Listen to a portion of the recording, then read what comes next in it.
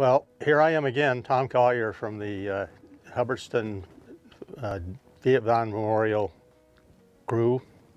Uh, we're coming down to the last of this whole project.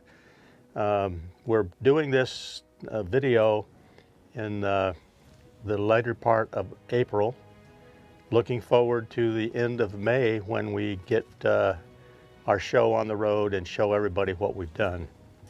Uh, today, uh, we're going to talk about some of the things that we've uh, accomplished uh, other than just our own Vietnam Memorial. And with me today, I have Gary Kangas here from town. Uh, Gary is uh, the town's historian. I mean, I don't know that he has that title, but everybody in town knows that if you need to find something about the, what happened in, uh, you know, in the Civil War, he has that information or he can find it. And so, Gary, we're going to start with appropriately the um, the Civil War.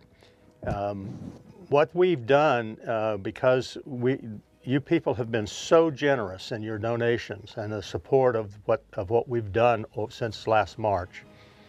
Uh, we were able to to raise more money than we actually needed to do for the for the Vietnam Memorial itself. And we decided what we would do with the excess was to go back and look at all of our memorials and all of our statues in the town uh, relative to being veterans uh, and see what, uh, what we could do to maybe spruce them up, clean them up, uh, uh, or you know make repairs. Uh, as it is, the the one that of course has the most damage is the one that's the Civil War because it's the oldest one. Uh, Gary, what what year was that one put up? Do you know? I know the the blocks that the cannons are sitting on, they were made in 1905. Okay, in 1905. Well, that's a good place to jump off because there's a whole bunch of things about this memorial that uh, that need to be addressed, the things that we've uh, found and, and the things that we've uh, fixed. So why don't you just jump in right here and start? Let's go top to bottom. How, what about that eagle up there? Well, for years the eagle was missing.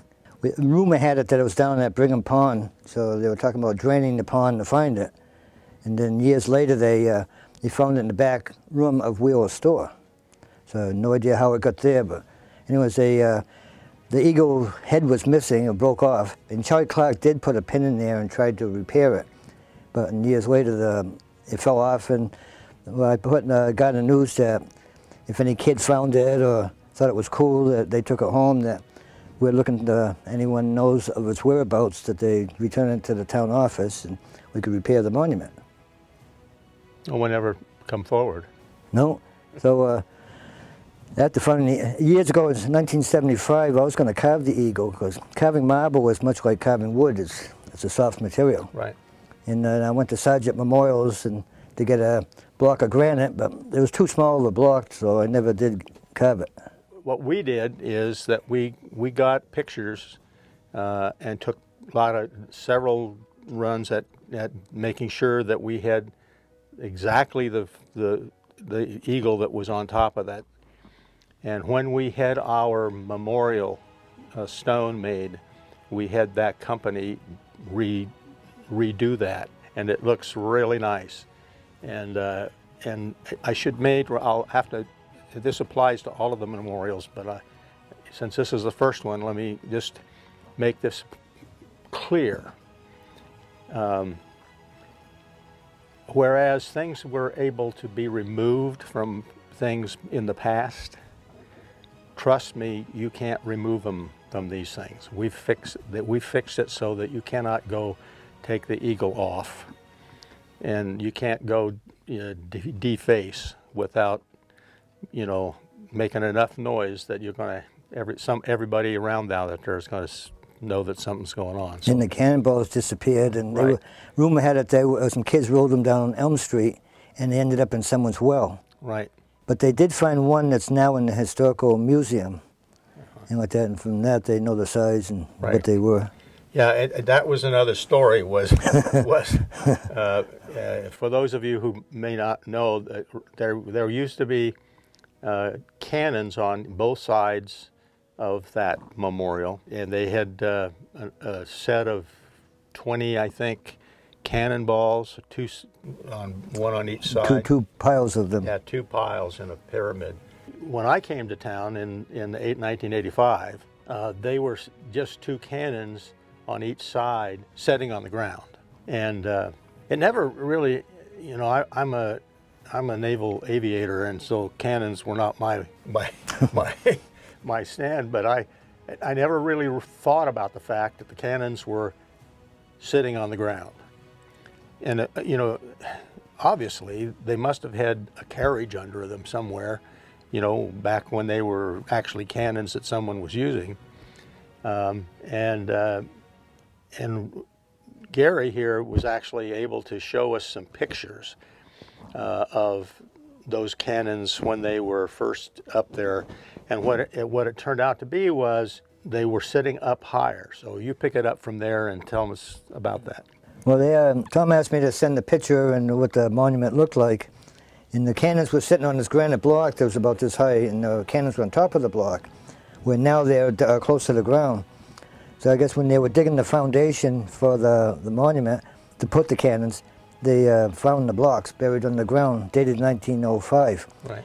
There was a story that, that the cannons were up on the on these blocks about two feet off the ground, and then they, uh, they but they only sit in a cradle so that you know they they they could rotate up and down. And kids could fall off and get hurt. And and kids could fall off. Kids would play on them and they would fall off and get hurt. So this what they did was they buried the things that the the the, the big granite chunks in the ground and then put the cannons down. Well, we're bringing them back up, but you you can go out there and jump on the cannon and it ain't going to move because we're, you know it's I'm telling you if you do that you're only going to hurt yourself because it's not going to move. Um, and so that will be restored in that way. And the cannonballs will be welded together so that they can't be removed and rolled down the street. Right. All right. Well, that you know that kind of finishes us up with I think with the Civil War um, memorial, and and we can move on.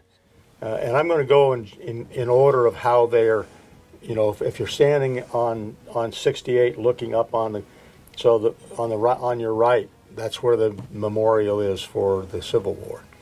The next thing over is going to be World War One. That that particular one uh, didn't really need any uh, repair, but it needed to be cleaned up. And and uh, and before we before you get to the memorial, before Memorial Day gets here, those things will be done as soon as the weather clears up enough so that we can get in some power washing and that, that we're going to clean those all up so they will be back to their their natural or their beginning how they looked or maybe closer to how they looked. Yep. Sometimes my wife accuses me of the only time I really think and get a good idea is when I'm in, a, in bed and in sleep. But uh, this one was uh, one of those things that woke me up. that, you know, we have these memorials and we have all these names. But, you know, uh, most of these, one of, if you really want to talk about the people who were lived in Hubbardston and actually um, were in this these wars. Um, they're in our, they're out there in our in the buried here in town, in various different uh, places, and and we ought to always, you know, we uh, we try on Memorial Day to try to get all of these. Um, all of these graves with a to make to ensure they have an American flag on them, and that that is uh, is paid for by the the um, Memorial Day committee in town, uh, but normally it's the uh, Boy Scouts or the Scouts themselves that uh, go out there and place those those flags, and so. Um, uh, you know, if if you're going by and think you need a flag, don't go get one of those, please, because they're put there by someone for their family. Though there is another interesting World War One thing we need to talk about, and this is something that's not this this uh, individual is not uh, on the. I don't believe that name is on the, that uh, memorial. Elizabeth Hunter. Uh, yes, and I. But uh, she's buried here in town. Tell me about her. Her one of her relatives. Uh, I don't know if it's the daughter or granddaughter, uh, she came down and brought a scrapbook of uh, her life in the military, and it's very interesting. It's like 500 something pages. So I just scanned that, and then when she brought the book down, we went down to the cemetery, uh, Pine Grove, and uh, we found the grave. You could couldn't even read the lettering on it, so we cl- uh, cleaned it, and now it's very visible. And she was commended by the General Pershing, I think, World War One. Regina. Uh, she got a certificate she was given of her uh, honoring her service as a uh, telephone switchboard operator. They were called uh, Hello Girls. Hello, girls. And, uh, great. And it's uh, said that uh, she killed a, a German spy. Oh, she was commended for that. Okay, that's World War One. Now, World War Two. Well, there's another one the- up there, another gray one up there that looks like the one World War One was. So they, you know, they were just going to copy, I think, uh, you know, the stone work. Uh, and that one is that one is also one that has uh, it doesn't have any really bad um, anything that needs to be repaired so much as we need to clean it. And and again, by the time we get to the end of this next month, that's going to be all taken care of and it'll be clean. And and uh, if they have uh, these things have uh, you know metal uh, things on them, we try to get those spruced up as well. So um, now. Interestingly, as we go from there, that's the next thing is going to be the Vietnam Memorial. we now are in an era that, um, unlike like all of the ones we've talked about so far, what uh, it was only the people that were the, were from Hubbardston, and that they were um, uh, it died in in bat in cat in battle. Uh, now, it, it, no longer do do we do that. So we get into we get into um, putting the names on on memorials of anybody who was in the service in an era. And so the Vietnam era is measured on from 1955 to 1975. And if you if you were in that if you were in the in the in the service at that time in any form, uh, you could have your name on there. And what we've done is we've contacted everybody we can find. And we're up over, we're about probably somewhere around 205 names. And actually, just here this morning, um, we were informed we had four, five more. Um, so we were at 200. And so uh, after we put the memorial in place, probably a week uh, and a half early, um, we will have five more names added to it, which is not a neat, which is not a difficult pro- problem to do. And some of these came to Hubbardston after their service. Well, that's right, and I'm an example. I mean, I, you know, I was, um, I was in Vietnam three different times from the beginning and to the end, and uh, um, but it was years later after that that I w- was uh, sent by the Navy up to uh, oversee General Electric in in Lynn, and I, so I came to Hubbardston. And so that we had veterans that were in, we have several veterans in town that, that were in the service in one way or another um, during that era, but never actually went overseas or went in. They may have gone overseas, but they weren't in country. Um, however, the the idea when when the issue came up about who was going to be on this thing and not on this thing, um, there are three of us on the committee that are actually uh, were actually in country, Um, and what we said was, you know, um, we couldn't, we may, all of us have been killed had we not had the backup of the other people that were, you know, getting the, the ammunition to us, repairing our airplanes, um, and, you know, so that you're in that service. Uh, and, you know, to my, you know, my, I was, I think that's the way, way to go. I mean, you can't, you know, you'll never, you never have everybody that's in the service, in any part of the service, that goes into combat on to, you know, to save or to you know, on the on the behalf of our country. Um, just because they're what they do best is something that doesn't qualify, doesn't make them go into the country, but rather to provide the ability for the rest of us to be there and come home alive. And if they uh, were in Vietnam themselves, uh, they got a gold star next to their name.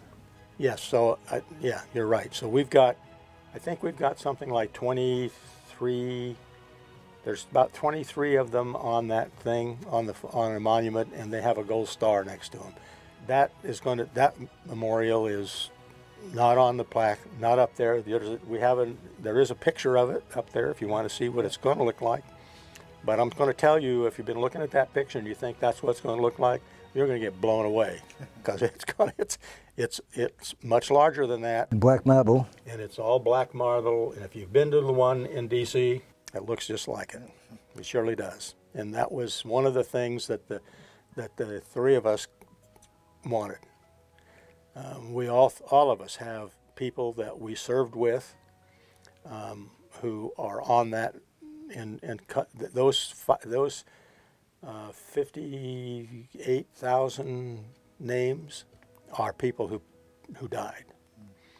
And uh, you know, I was I graduated from Annapolis in 1965. I have three of my classmates um, that are on that, and they they were um, they all three of them they weren't in the same squadrons, but they all three got shot down over in Vietnam, and uh, so we you know we were adamant that we were going to have one that looked exactly like that one over there, because we have some people on ours that that uh, passed away, and. Um, and I, and then okay, so that's the Vietnam Memorial. Let's get on to the one next to that, which is the Spanish American War. We actually have a, memon- a memorial up there, uh, and that's going to have just you know again a cleaning to make sure it's spiffy and looks great when we go up there. Okay, one more, and this one's on the other side of the street, um, just right out in front of the uh, school and that one is going to be that is the the uh, Korean War, and I think there may, may is there are there some people on it from. I heard a story at one point that, that somebody, they didn't have someone from World War II, and they put it down there. I don't. I, I went over there. I can't see that. So, but there that's where the Korean War Memorial is. It's on the other side of the street. Any anything you can tell me about that one? No, I haven't heard any story about that. It's Somebody, yeah, well, there's there's no cannonballs to roll down the street. Uh, there's no, you know, granite. Uh, there's no granite uh, uh, eagles that we can try to throw in the air and see if they can fly. So, And I heard there's going to be a grand celebration come Memorial Day. oh man, it's going. it's just incredible, Gary. How many, how many veterans organizations and just people who have come forward to support what we're trying to do. I got I got chili bumps right on right on my legs. Um, uh, it's just incredible, and it you know it's like uh, we're working. Bill Shea and I, who are on the on the memorial committee memorial committee, um, and and uh, but we both are on the the the town's memorial committee, and um, and we we just it seems like every day somebody calls one of us and they want they want in Um, you know, we have we've had uh, um, you know when Hardwick decided not to have a, parade this year for Memorial Day, that turned you know that let us have the Quabbin ROTC group, and we also have two other another band and another marching group who are not are not from Hubbardston, but they they want to come up. There, there, there are a lot of them are from Vietnam, and they want to be here.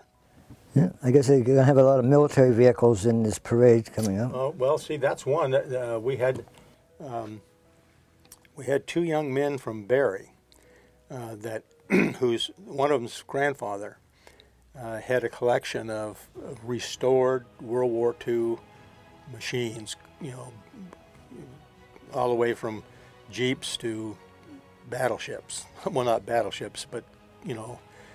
Um, and he's got, I think he says he's got six of them. He and when his grandfather passed away, this young man was in high school, and he and, and his uh, and a buddy in high school uh, took over that project, and they and now they've been out of high school for a long time now. They were my, my I'm sure in their mid 40s because I know one of them was a classmate of my daughter, and uh, they've still done it, and they're all in, and uh, we've resolved an issue of you know how are we going to they're going to they'll be they will be in the parade which is going to be the longest parade that they'll you they've ever seen in one year. I, I was scared we were going to be out into into lined up somewhere close to Gardner. Um, they're going to be there and and the question we you know they you know they they would like to park them so that people could see them uh, we had a meeting uh, with uh, the Memorial Day Committee, uh, the town's Memorial Day Committee, because they're the ones that really, you know, we have to figure that out with. And uh, and the police chief was there, and he says no.